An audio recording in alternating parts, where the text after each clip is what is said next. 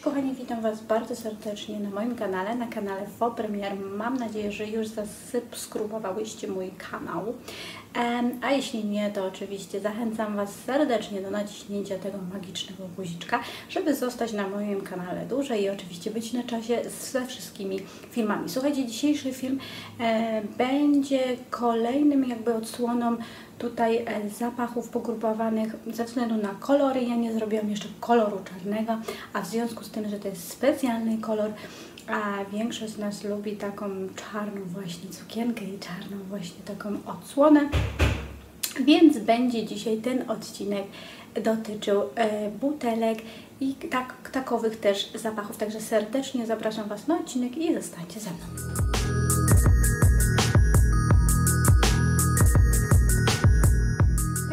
Zapowiedziałam właśnie w intro, dzisiejszy odcinek będzie poświęcony, e, poświęcony e, tutaj perfumom w kolorze czarnym i takowym już butelkom. Ja nie mam ich za dużo, ale będzie to odcinek poświęcony trzem konkretnym zapachom, takim, które ja właśnie lubię, które uwielbiam, które mnie przyciągnęło swoją mocą i będzie to takie właśnie zapoznanie z nimi, a także podsumowanie. Ja bym zaczęła także czarne perfumy, tak sobie myślałam, co można o nich powiedzieć.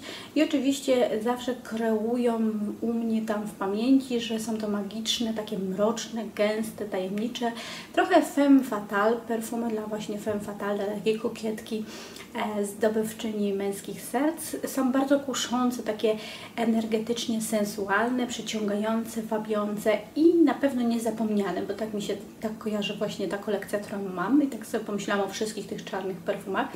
Zazwyczaj są to bardzo mocne stążenia, e, takie konkretne, silne i tak jak już powiedziałam, konkretne, sensualne, a nawet seksualne. Nie zawsze nadają się, słuchajcie, do pracy. Mam tu na myśli na przykład opium. To konkretne nie wersję Extreme, którą omawia, omawiałam. Jeśli nie oglądałyście tego odcinka, to serdecznie Was zapraszam. Em, więc do pracy bym ich może nie zawsze, po, nie zawsze tutaj polecała, natomiast na randkę, na spotkanie, na jakieś takie fajne mm, te, a tet, czemu nie?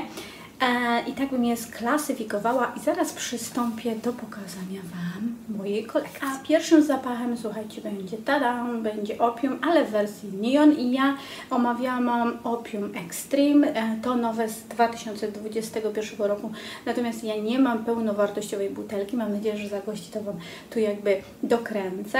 E, Ale e, ja mam tutaj magiczną, tą neonową buteleczkę e, Black Opium Neon Yves Saint Laurent z roku 2019. Słuchajcie, dominuje to oczywiście e, bursztyn i wanilia. Jest to zapach właśnie taki nieco owocowy też, co wydawałoby się, tak jak omawiałam, że w tych magicznych butelkach czarnych kryje się mocna, mroczna, mroczne, mroczne stężenie i mocne jakby stężenie i mroczne perfumy, może tak. E, ale jest to też e, mandarynka, słuchajcie, cytron, e, owoc pitaja, taki różowy z tego co pamiętam. No i jest tu dość silny, taki energizujący zapach coffee, czyli kawy, przepraszam, jaśminu sambak, a także wanilii i piżma. E, słuchajcie, ja Wam powiem, że te nuty są bardzo konkretne. Jak ja sobie mm, tutaj tak wącham, to na mojej skórze i w ogóle tak to skorka szybko wąchając dominują nuty właśnie te kawowe, takie waniliowe, konkretne i tego jaśminu samba, który nieraz przypra przyprawia mnie niestety o ból głowy, ale ta wersja neon jest właśnie na tyle energetyczna, na tyle bym powiedziała dziewczęca, kobieca, w zasadzie ym, powiedziałabym taka ageless, niekoniecznie dopisana tu do, do jakiejkolwiek grupy wiekowej, a dlatego polecam wszystkim i ona jest taka właśnie niesamowita, taka charyzmatyczna, bardzo sophisticated, bardzo bym powiedziała taka wyraźna, zauważalna.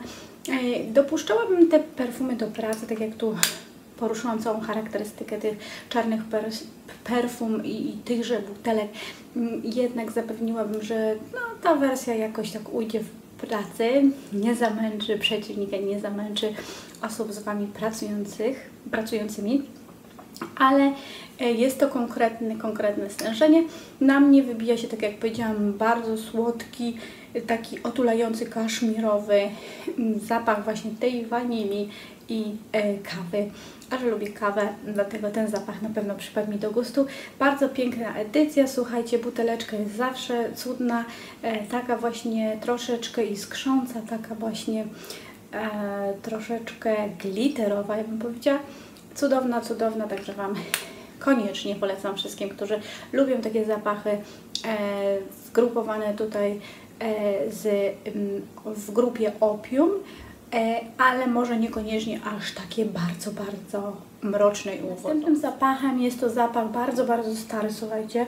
To jest Stella w wodzie Eau de Parfum McCartney. To jest zapach z 2003 roku. Ja bym powiedziała, że to niekoniecznie jest do końca czarna butelka. Ona jest taka, słuchajcie, zobaczcie, kryształowa, ale dominuje tutaj taki purpurowy kolor e, i e, czarny, ale ja bym ją tak sklasyfikowała.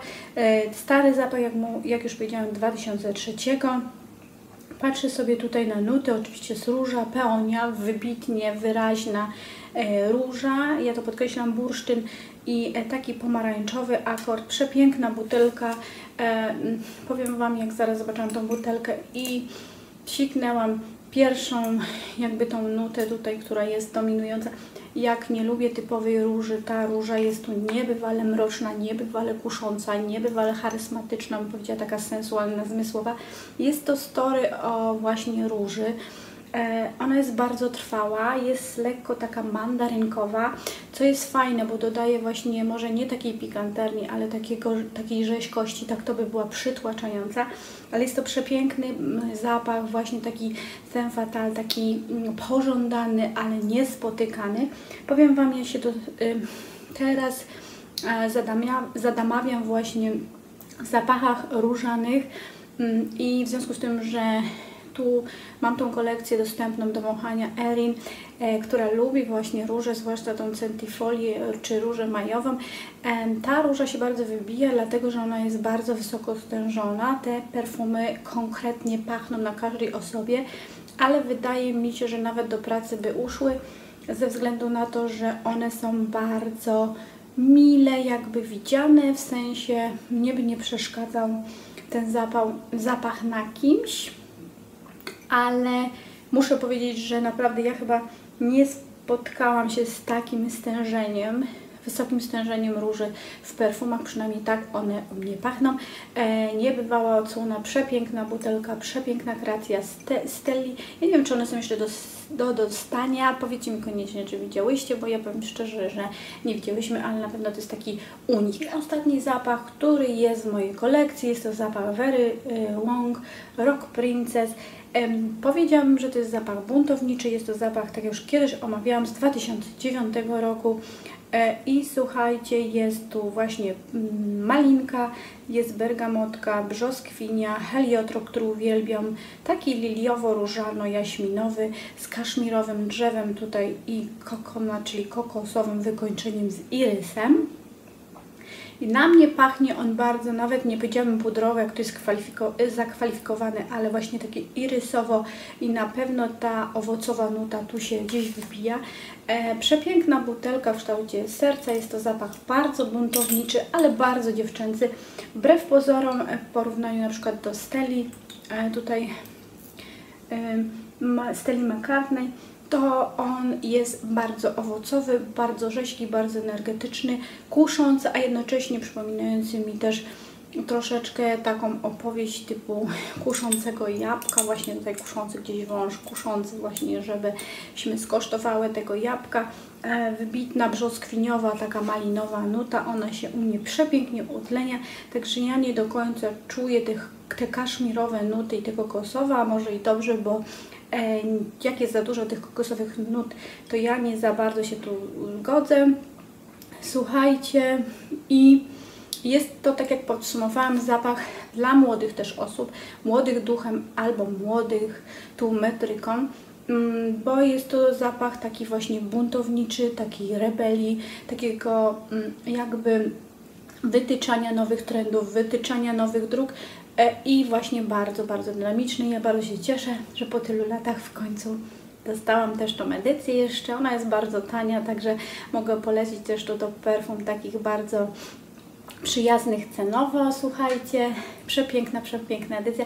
Ja uważam, że nawet na teraz, na takie babie lato albo na taką okres właśnie, bo jest to kaszmirowe drzewo, chociaż u mnie ono tak gdzieś tam zanika, ale jest to przepiękny zapach właśnie na tegoroczny taki czas taki przejściowy. I słuchajcie, to by było wszystko. To są moje top 3, które chciałam Wam przedstawić tutaj pod pozorem omówienia mm, tej czarnej wersji, tej magicznej czarnej wersji Femme Fatale. E, jestem bardzo ciekawa, jakie Wasze propozycje koszczą. O właśnie, Chanel Number no. 5, e, też przepiękna edycja. E, słuchajcie, ale jestem ciekawa właśnie, jakie Wy macie propozycje, co gości u Was na toaletce. Koniecznie napiszcie mi w komentarzach. Ej, słuchajcie, zapraszam Was wszystkich do lajkowania oczywiście i do subskrypcji. Do zobaczenia w następnym odcinku. Pa, pa. Ja kocham na zabawę, Wam mówię, że to jest niesamowicie taki właśnie młody duchem, ale gdzieś jest ta ukryta ta drapieżność, taka niesamowita ta malina.